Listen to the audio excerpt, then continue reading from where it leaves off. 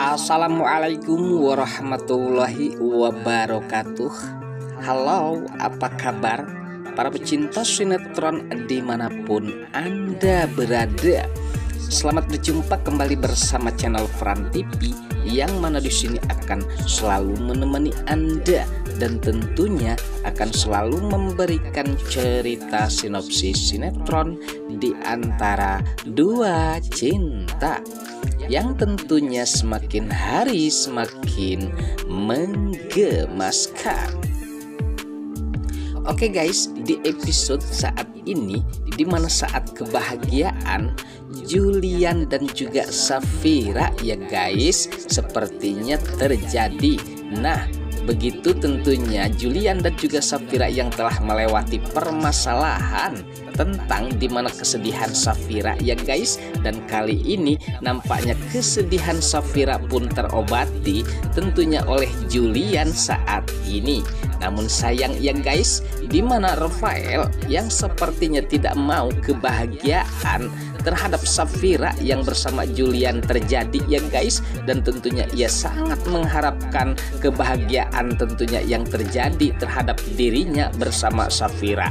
Nah sepertinya di mana Rafael nampaknya kali ini mulai riuh ya guys yang jelasnya ia tidak mau melihat kebahagiaan Safira terhadap Julian yang jelas hanya dirinya lah yang harus berhak mendapatkan kebahagiaan Rafael dan juga Safira guys.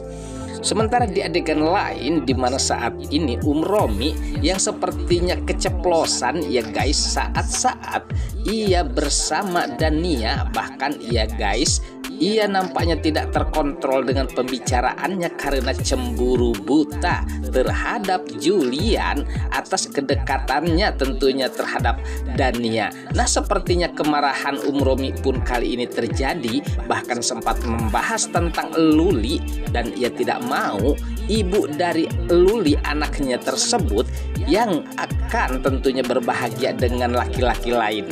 Nah, sepertinya kemarahan dan kecemburuan Umromi saat ini pun terjadi hingga saat itu nampaknya terlihat nampak kesal dan marah terhadap Dania. Bahkan sempat ia memperingati Dania agar jangan macam-macam ya guys. Sementara Dania yang telah terpuruk sepertinya ya guys yang diharapkan tentunya bisa bersama dengan Julian justru kali ini nampaknya teramat dalam dengan rencana Umromi bukannya kebahagiaan justru kali ini hidupnya pun merasa tertekan ya guys oleh Umromi sedangkan di mana Tante Wulan pada saat itu pun berada di tempat tersebut. Bahkan sempat di sini Tante Wulan pun memperhatikan gerak-gerik Umromi dan juga Dania yang sangat-sangat mencurigakan. Lalu akankah di sini Tante Wulan mendengar semua pembicaraan Um Romi dan juga Dania.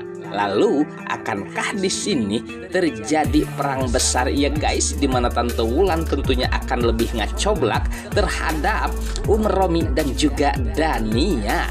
Lalu bagaimana dengan Dania kalau sudah begini ya guys? Sementara di adegan lain di mana saat ini Rafael yang lagi-lagi ia tidak henti-hentinya ya guys. Bahkan sempat ia pun menghadangkan mobilnya tentunya agar permasalahannya sepertinya agar segera kelar ya guys. Yang jelasnya di sini Rafael masih dendam terhadap Julian.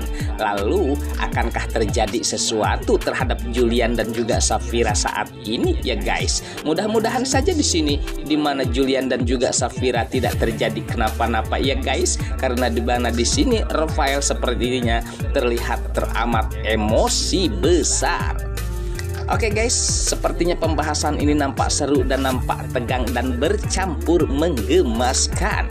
Namun tonton terus sampai selesai ya guys dan jangan lupa tekan tombol like, subscribe dan lonceng notifikasinya agar kita tak terjadi gagal paham di antara kita ya guys.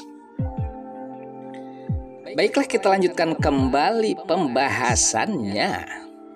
Lalu saat ini ya guys di mana keterkejutan Safira dan juga Julian atas kedatangan mobil Rafael. Nah, sepertinya di sini Rafael terlihat nampak sangat marah besar dan tentunya ia mengancam terhadap Julian atas di mana Safira yang akan dibawa kembali oleh Rafael yang tentunya tidak boleh dimiliki oleh Julian. Sementara di mana Julian nampaknya ia tidak tinggal diam dan tentunya ia akan selalu menjaga istrinya meskipun nyawa taruhannya. Ya, sepertinya perdebatan kedua lelaki ini nampaknya sangat serius dan sangat menegangkan tentunya para emak-emak sejagat raya ya guys. Namun tentunya kita doakan agar di mana Julian bisa mengatasi permasalahan Rafael ini ya guys. Nah, pada saat itulah tentunya di mana Rafael yang sepertinya ia sangat-sangat tidak terkontrol karena pengaruh mabuk dan sudah pastinya mabuk cinta kayaknya ya guys. Namun biarlah tentunya di mana Rafael sepertinya akan menyelesaikan dengan caranya sendiri. Namun pada saat itu di mana tentunya Rafael pun terhadap Julian hingga akhirnya berselisih dan mereka pun sempat tentunya pakai truk. Ya guys yang jelasnya di sini sempat bentrok kedua laki-laki tersebut. Ini sepertinya ya guys.